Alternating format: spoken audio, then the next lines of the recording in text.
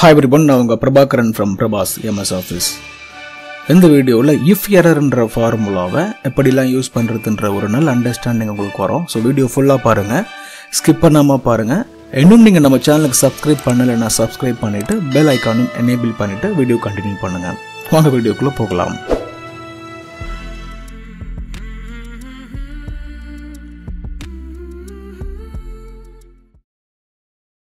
ஃபார்முலாவுடைய output நிறைய டைமில் எரரை throw பண்ணோம். டேட்டா இல்லை தப்பாக இருக்குன்ற மாதிரி நிறைய இன்ஸ்டன்சஸில் எரர் வர்றது நார்மலான விஷயம். பட் அப்படி எரர் வரும்போது அந்த அவுட்புட் நல்லா இருக்காது பார்க்குறதுக்கு. ரொம்ப ஆக்வர்டாக இருக்கணும் போது அதை க்ளீன் பண்ணுறதுக்காக இந்த எஃப்எரர் ஃபார்முலா ரொம்ப நல்ல ஃபார்முலா க்ளீன் பண்ணணும் ஃபார்முலான்னு நினைக்கும் போது கட்டாயம் நீங்கள் எஃப்எரர் ஃபார்முலாவை யூஸ் பண்ணலாம்.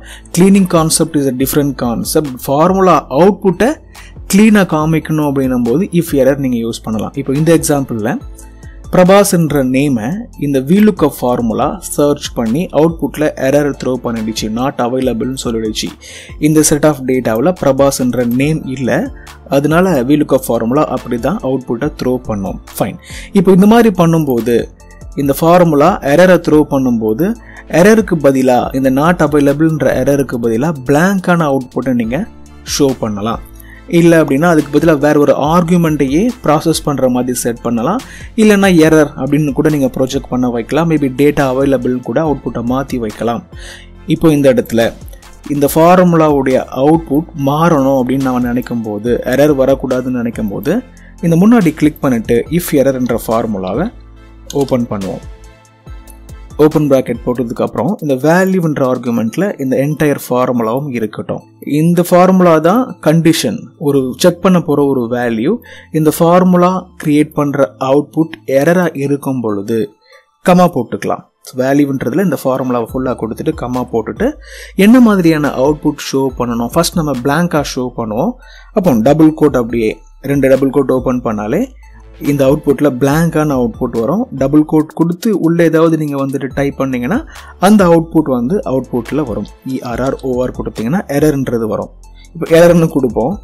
க்ளோஸ் ப்ராக்கெட் என்டர் எரர்னு அவுட்புட் வந்திருக்கு. இல்லை பிளாங்காக வேணும் அப்படின்னா கூட நீங்கள் இந்த எரரை டெலிட் பண்ணிவிட்டு அப்படியே பிளாங்காக என்டர் பண்ணிங்கன்னா பிளாங்கான அவுட்புட் வரும். ஒருவேளை கரெக்டான டேட்டாவை நீங்கள் கீப் பண்ணி அந்த டேட்டா எக்ஸ்ட்ராக்ட் ஆகிற அக்கரன்ஸில் நார்மலான அவுட்புட்டும் தப்பாக வரும்போது பிளாங்காகவும் வரும். ஜிஓ ஹெச்ஏர் நான் என்டர் பண்ணும்போது ஜானுடைய டேட்டா வருது. பட் தப்பான டேட்டாவை நீங்கள் கீப் பண்ணும்போது ஆர் இதில் இல்லாத ஒரு டேட்டாவை கீப் பண்ணும்போது எரர் அடிக்கும். எரர் அடிக்கும் போது நம்மளுடைய ஃபார்முலா அதுக்கு பிளாங்கான ஒரு அவுட்புட்டை ஷோ பண்ணும். பர்ஃபெக்ட் இல்லையா? ரொம்ப சிம்பிளாகவே இஃப் எரர் ஃபார்முலா என்ன பண்ணுதுன்றது உங்களுக்கு புரிய வச்சிட்டேன். அடுத்தடுத்த சாம்பிள் நீங்கள் பார்க்கணுன்னா பார்க்கலாம். என்னென்ன மாதிரியான அக்கரன்ஸில் எல்லாமே இந்த ஃபார்முலா யூஸ் ஆகுது அப்படின்ற ஒரு கிளாரிட்டி உங்களுக்கு வரும்.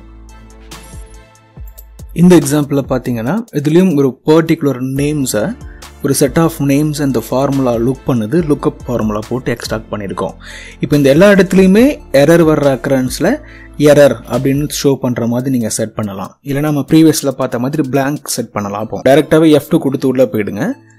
இஃப் எரர் அப்படின்னு ஃபார்முலாவை ஓப்பன் பண்ணிவிடுங்க வேல்யூன்ற ஆர்குமெண்ட்டில் எக்ஸிஸ்டிங் ஃபார்முலா அப்படியே வச்சுக்கிட்டு எண்டில் வந்து கமா கொடுத்துடலாம். இப்போ இந்த இடத்துல தான் நம்ம என்ன பண்ண போகிறோம் என்ன அவுட்புட்டை ஷோ பண்ண போகிறோன்றதை கொடுக்கணும். டபுள் கோட்டில் கொடுக்கலாம். இல்லைன்னா டைரெக்டாக நம்பரை நீங்கள் இன்புட் பண்ணுறீங்க ஏதாவது அக்கரன்ஸில் ஜீரோ வரட்டும் அப்படின்னு நீங்கள் ஃபீல் பண்ணுறீங்கன்னா ஜீரோ கூட கொடுக்கலாம் இல்லை பிளாங்காக கூட விட்டுட்டு என்டர் பண்ணலாம். நான் ஆக்சுவலி வந்துட்டு டபுள் கோட்டில் ஒரு ஹைஃபனை நான் வந்துட்டு இன்புட் பண்ணுறேன் அதாவது எரர் வர்ற மாதிரி அக்கரன்ஸில் வெறும் ஹைஃபன் மட்டும் அவுட்புட்டாக வரணும். என்டர் பண்ணிவிடுவோம் எஸ் நான் நினச்ச மாதிரி ஹைஃபோன் வந்திருக்கு. டபுள் கிளிக் பண்ணும்போது எல்லா இடத்துலையுமே டேட்டா கொஞ்சம் க்ளீனாக இருக்கிறது நீங்கள் ஃபீல் பண்ணுவீங்க. ஃபஸ்ட்டு எரர் இருந்துச்சு இப்போ க்ளீன் பண்ண மாதிரி ஒரு அவுட்புட் வந்திருக்கு. இதுதான் இந்த இஃப் எரர் ஃபார்முலாவுடைய முக்கியமான இன்டென்ஷன் ஓகே அடுத்த ப்ராக்டிஸில் ஒருவேளை இஃபெரர் ஃபார்முலாவுக்கு பதிலாக வேறு ஏதாவது ஃபார்முலா இருக்கா அப்படின்னு கேட்டிங்க அப்படின்னா ஒரு காலத்தில் இஃபெரர் ஃபார்முலா இல்லாதப்போ நம்ம என்ன பண்ணிக்கிட்டு இருந்தோம் அப்படின்னா இஃப் அண்ட் இஸ் ரெண்டு ஃபார்முலாவை கம்பைன் பண்ணி இதே மாதிரி வேலையை பண்ணுவோம். பட் இஃப் வந்த உடனே வேலை ரொம்ப ஈஸியாகிடுச்சு ஞாபகம் வச்சுக்கோங்க. நீங்கள் ஒருவேளை பழைய வேர்ஷன் ஆஃப் எக்ஸல் வச்சுருந்தீங்கன்னா டூ தௌசண்ட் செவனுக்கு முன்னாடி உள்ள பழைய எக்ஸல் வச்சுருந்தீங்க அப்படின்னா இஃப் அண்ட் இஸ் எரர்ன்ற ஃபார்முலாவை யூஸ் பண்ணி இதே கான்செப்டாக பண்ணலாம். பட் இப்போ யாருமே பழைய வேர்ஷன் ஆஃப் எக்ஸல் யூஸ் பண்ணுறது இல்லைன்னு நம்புகிறேன் எல்லாருமே ரொம்ப லேட்டஸ்ட் வெர்ஷன் தான் யூஸ் பண்ணுறீங்கன்றதுனால இஃப் எரர் ஃபங்க்ஷனே உங்களுக்கு அவைலபிளாக இருக்கும். ஃபைன் இப்போ இந்த இடத்துல இந்த ஃபார்முலா எல்லாமே பர்ஃபெக்டாக இருக்குது ஒரு இடத்துல மட்டும் வேல்யூ எரர் அடிக்குது. அப்போ இந்த ஃபார்முலாவை டபுள் கிளிக் பண்ணி பார்த்தோம் அப்படின்னா இதுதான் நம்ம கிரியேட் பண்ண ஃபார்முலா இந்த ஃபார்முலாக்கு முன்னாடி இஃப் எரர் ஓப்பன் பண்ணுவோம். இஃப் எரர் போட்டுட்டு இந்த வேல்யூன்ற ஆர்குமெண்ட்டில் இந்த ஃபுல் ஃபார்முலா அப்படியே வச்சுக்கலாம் கமா போட்டுட்டு அவுட்புட்டில் டபுள் கோட் கொடுத்துடலாம் டபுள் கோட்டை க்ளோஸ் பண்ணுறதுக்கு முன்னாடி ஏதாவது ஒரு டெக்ஸ்ட்டை நம்ம கொடுக்கணும்னா கொடுக்கலாம். என்ன பண்ணலாம் அப்படின்னா செக் செக் த வேல்யூன்னு கொடுத்துட்டு க்ளோஸ் பண்ணிவிட்டு டபுள் கோட்டை க்ளோஸ் பண்ணிவிட்டு ப்ராக்கெட்டையும் க்ளோஸ் பண்ணி என்டர் பண்ணும்போது எரர் வர்ற இடத்துல மட்டும் செக் த வேல்யூன்ற அவுட்புட் வரும். ட்ராக் பண்ணிடுவோமா? எஸ் நம்ம நினச்ச மாதிரியே க்ளீன் பண்ணியிருக்கோம். இதுவும் டைப் ஆஃப் க்ளீனிங் இல்லையா? சும்மா ஒரு ஃபார்முலாவுடைய அவுட்புட் எரரை த்ரோ பண்ணுது அப்படின்னா நீங்கள் பார்க்குறதுக்கும் சரி அதை ப்ரெசென்ட் பண்ணுறதுக்கும் அது ஒரு நல்ல ஒரு டேட்டாவாக இருக்காது. நல்ல ஒரு அவுட்புட்டாக இருக்காதுன்றதுனால இந்த மாதிரி நீங்கள் இஃப் எரர் ஃபார்முலாவை யூஸ் பண்ணி கஸ்டமைஸ் பண்ணுறது நல்லது. அடுத்த ரெண்டு ப்ராக்டிஸையும் குயிக்காக பார்த்துடுவோம். அடுத்த ப்ராக்டிஸில் ரெண்டு டேபிள் இருக்குது இந்த ரெண்டு டேபிளையும் கொடுத்துட்டு இந்த இடத்துல ஒரு ஃபார்முலா எரர் ஆகிற மாதிரி இருக்குது பார்க்கலாம். எஸ் வீலுக்க ஃபார்முலாவை போட்டு இந்த டேபிளில் லுக் பண்ணும்போது இந்த நேம் இந்த டேபிளில் இல்லை அப்படின்னு எரர் வந்திருக்கு. இந்த கான்செப்டே நான் வந்துட்டு ten different kind of error அப்படின்ற ஒரு வீடியோவில் எப்படி எரர்ஸ் எல்லாமே மேனேஜ் பண்ணுறதுன்றதில் எடுத்திருந்தேன். அந்த வீடியோவிலும் நான் இதை சொல்லியிருப்பேன் பட் இப்போ இதை சொல்கிறேன் நல்லா கவனிங்க. இஃப் எரர் ஃபார்முலாவை போட்டு இந்த இது எரராக இருக்கும்போது அப்போ இங்கேருந்து எடுத்து செக் பண்ணுற மாதிரி ஃபார்முலாவை நம்ம டபுள் ஆர்கியூமெண்ட்டாக கொடுக்கலாம். இப்போ இந்த இடத்துல ஃபார்முலாவை நான் புதுசாக போடுறேன். இந்த இடத்துல கொடுக்குறேன் சரியா? இஃப் எரர்னு ஃபார்முலாவை போட்டுட்டு இந்த என்டையர் ஃபார்முலா தான் இந்த டேபிள் இருந்து டேட்டாவை லுக் பண்ணி எரரை த்ரோ பண்ணிக்கிட்டு இருந்துச்சு. ஸோ இந்த வேல்யூ எரராக இருக்கும்போது கமா கொடுத்துடலாம். அவுட்புட்டில் என்ன வரணும் அப்படின்னா இந்த இடத்துல உள்ள டேபிளில் போய் செக் பண்ணுன்ற மாதிரி ஆர்குமெண்ட்டை மாற்ற போகிறோம் இப்போ இந்த இடத்துல புது V lookup formula lookup value வந்து இந்த இடத்துல போடுற அதே வேல்யூ தான் படிப்போம். இந்த டேபிளுக்கு பதிலாக இந்த டேபிள் செலக்ட் பண்ணிவிட்டு கமா கொடுத்துட்டு காலம் இண்டெக்ஸ் நம்ப இந்த டேபிளில் செகண்ட் காலமில் உள்ள டேட்டா அவுட்புட்டில் வரட்டும். ஸோ ஸ்டூன்னு கொடுத்துடலாம் comma exact match approximate match ரொம்ப ஃபெமிலியரான கான்செப்ட் எக்ஸாக்ட் மேட்ச்ன்றதுனால நான் ஜீரோ கொடுத்துட்டு க்ளோஸ் பண்ணிவிட்டு என்டர் பண்ணுறேன் ஓகே என்ன சொல்லுது அப்படின்னா இஃப் எரர் ஃபார்முலாக்கான ப்ராக்கெட்டை க்ளோஸே பண்ணலை நான் க்ளோஸ் பண்ணிடுறேன். என்னை திட்டுது க்ளோஸ் பண்ணியாச்சு. என்டர் பண்ணுவோம். எஸ் இப்போ பிரியான்ற இந்த நேம் இந்த டேபிளில் இல்லைனா கூட பரவாயில்ல. இந்த டேபிளிலிருந்து இருந்து இந்த ஃபார்முலா எக்ஸ்ட்ராக்ட் பண்ணி கொடுக்கும். பாருங்களேன் இஃப் எரர் ஃபார்முலாவில் லாஸ்ட் ஆர்குமெண்ட்டில் வந்து நம்ம என்ன பண்ணோம்? வேல்யூ இஃப் எரராக இருந்துச்சு அப்படின்னா டபுள் கோட் போட்டு ஹைஃபன் போட்டோம். டபுள் கோட் போட்டு அப்படியே போட்டோம். தென் டபுள் கோட்டில் வந்து ஒரு கஸ்டமைஸ்டு மெசேஜை செக் திஸ் வேல்யூ எரர்ன்ற மாதிரி போட்டோம். பட் இதில் லாஸ்ட் ஆர்குமெண்ட்டில் ஒரு புது ஃபார்முலாவே போட்டு அதுக்கப்புறம் இன்னொரு வேல்யூவை செக் பண்ணுன்ற மாதிரி கொடுத்துருக்கோம். இப்படியும் நீங்கள் பண்ணலாம். இஃப் எரர் ஃபார்முலா யூஸ் பண்ணும்போது இன்னும் நிறைய விஷயங்களை பண்ண முடியும்.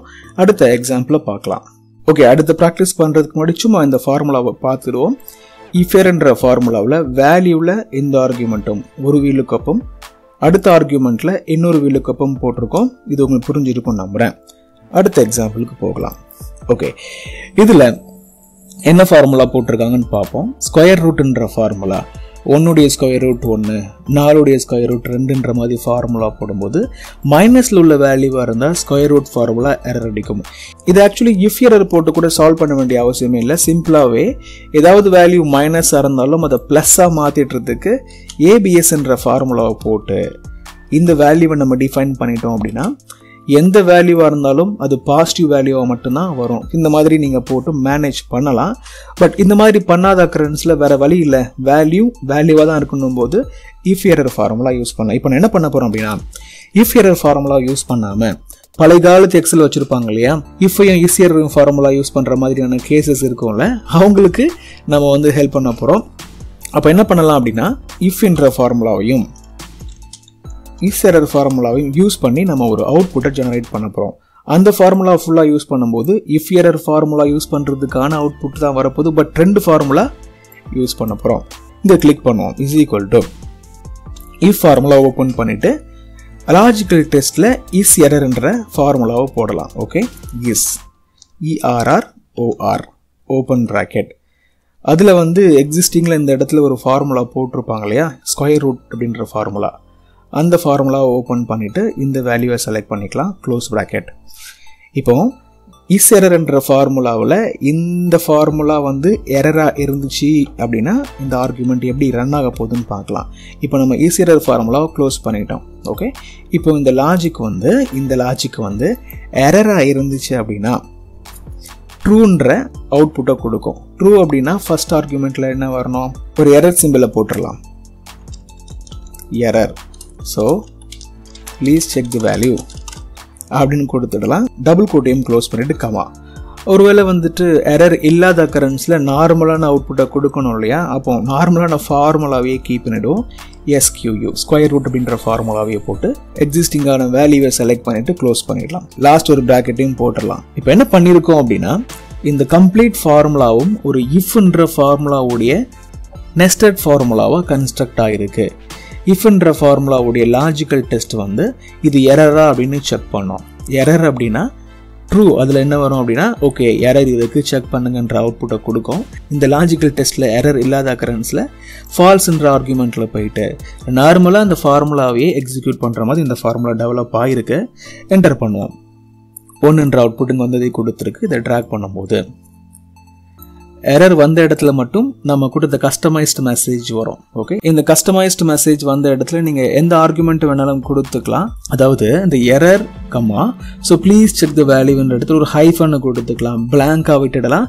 வேற எந்த வேணாலும் நீங்க கொடுக்கணும்னு நினச்சிங்கன்னா கஸ்டமைஸ்டு மெசேஜ் வெறும் எரர்னு கூட நீங்க கொடுத்துட்டு இந்த மாதிரி நீங்கள் பண்ண முடியும். நார்மலாக இந்த நம் எரர் வர்றதுக்கு பதிலாக எரர்னு வந்தால் கூட நல்லா தான் இருக்கும் இல்லையா? அதனால என்டர் பண்ணிடலாம். ஸோ இந்த மாதிரி உங்களுடைய ஃபார்முலாவை என்ஹான்ஸ் பண்ணிக்கிட்டே போகலாம் க்ளீன் பண்ணுறதுன்றது ஒரு முக்கியமான ஆஸ்பெக்ட் ஃபார்முலா டெவலப் பண்ணும்போது நீங்கள் எல்லாருமே தெரிஞ்சுக்கணும்.